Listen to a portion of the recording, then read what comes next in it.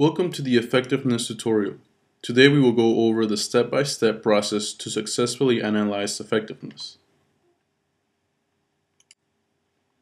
First of all, let's ask, what is the effectiveness category? Effectiveness is the result of the superimposition of transportation and volume from the horizontal investigation of IMM, Integrated Modification Methodology. In order to calculate effectiveness, we use the ratio of the total number of public trips divided by the total number of trips. The investigation procedure consists of establishing an intermediate scale through IMM, locate built volumes, locate transportation stops, apply catchment areas to transportation stops, establish an appropriate grid within the parameters of your intermediate scale, and analyze each grid by the rating process. First, we start off with the intermediate scale, which was established during the horizontal process of the investigation. Then we locate the built volumes in that area. Here you can see all the buildings that are in white. So these are all the built volumes in this intermediate scale. Then we locate the transportation stops in the area. There are bus stops, uh, tram stops, and also uh, train stations. So the orange will be the train stations, the bus stops is pink, and purple is the tram stops. So catchment area. What is the catchment area? Well, catchment area is uh, can be looked at as the comfortable walking distance.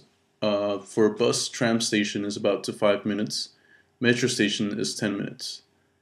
So we can say that the bus tram station can be considered 400 meters and the metro station 800 meters. Now we can apply this into our map.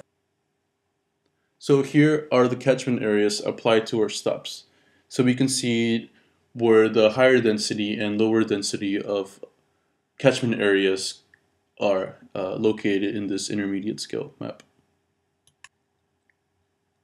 So here we, we can uh, see it a bit clearer uh, with the grid. So this grid basically is a 100 by 100 meter grid.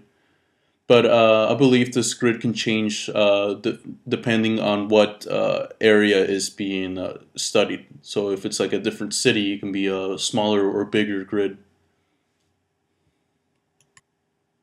So here we analyze each grid by the rating process.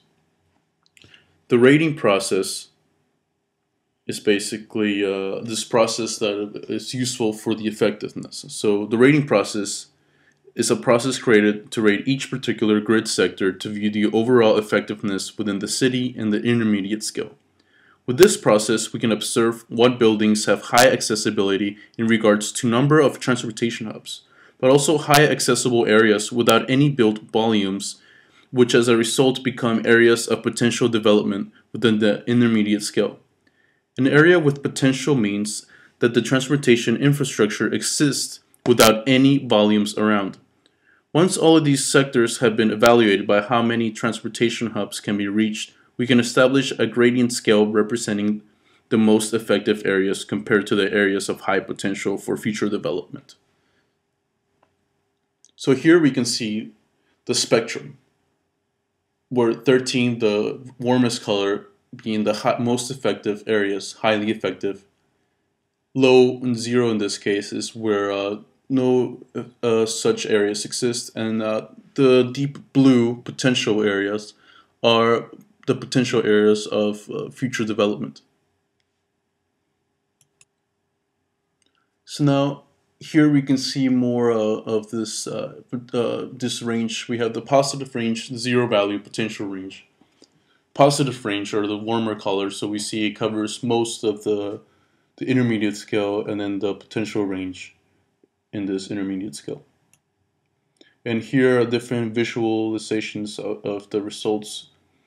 Uh, and then what's interesting about this is that we can see that there's uh, evenness in these in both of these. Uh, that there's highly positive ranges and also a lot of potential ranges. So the infrastructure is there, just uh, buildings in these areas can be applied. So the calculations for the investigation. So effectiveness is the, the number of trips in public transportation divided by the total number of trips. So this is before any intervention, and uh, here are our results. The, this is our information for uh, the source is Belgrade Urban Planning Institute.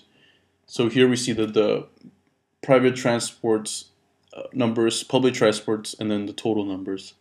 And after the calculations, we get an effectiveness rate of 0.62. Comparison before, here we see uh, without any intervention, uh, the, the, the clash of highly effective and potential areas right next to each other. So this is what was taken advantage in this project. Here we can see the results.